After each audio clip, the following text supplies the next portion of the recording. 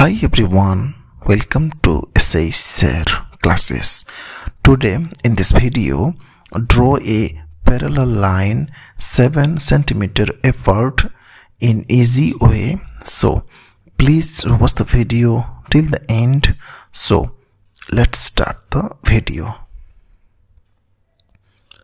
First of all, let us draw here a line segment of any length then taking arrow mark on both side to represent a line.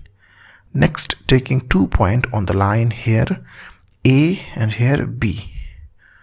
Now taking any point on the line ab here so taking here point e. Next drawing a perpendicular line on the point e so putting the compass on the point e and taking any length. So first drawing here an arc now putting the compass here and taking same length and cut here and putting the compass here and cut here and drawing an arc here. Again with same length and putting the compass here and cut here.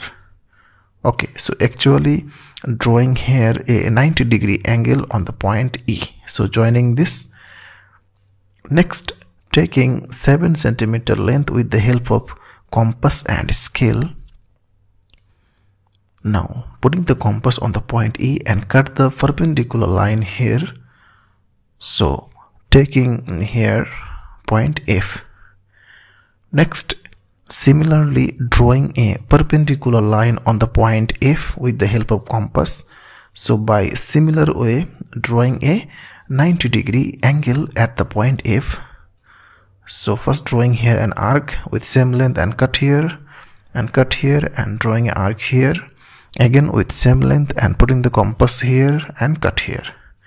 Okay so now joining this to get a line which is parallel with AB okay now taking arrow mark on both side to represent a line. Next taking two point on the line. So here leveling C and here D. Okay and EF equal 7 centimeter. So therefore AB is parallel with CD. So AB parallel with CD. So that's all. Thanks for watching. Please share it with your friends.